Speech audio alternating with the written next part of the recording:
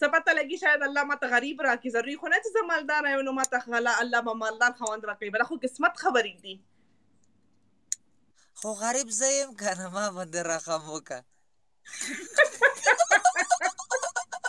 ما به تا باندې ضرور رحم کولی شکیل که تا ټول جیانې پرېښدی ما دپاره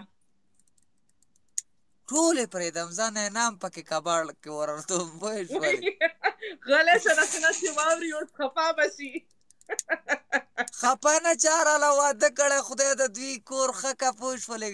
کور یې آباد که پوه شولې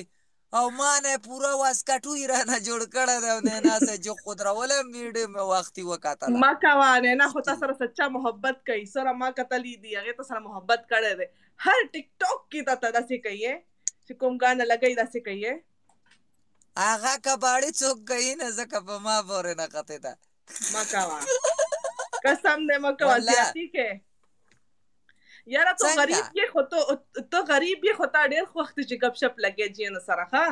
یو سره تا کار نه چلیږي ته وایې چې بس 5 6 7 8 تا سره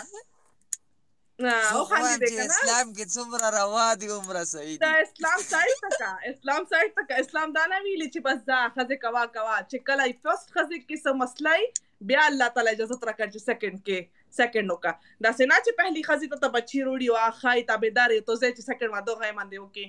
مونږ اسلام دا نه ویلي بچه بچی وو تیری دا اوس دی ته خیال دی نو خیر دی کنه نو بچی دی اوس ولا چی اسی دوه خزه چې بچی چالو کی اسی ته ما خبره ته غوږ ونیسه دوه خزه چې اوس بچی چالو کی دوه خزه چې بچی چالو کی مطلب چې بچی وی راوړه چې بچی بلې راوړه دولس بچی شو دولس بچی د چرګې نه او ته د دولسو بچو نه راتاوې پکې ناست یې پوه شوې خوند نه کوي یو دله کله اختر راکاږي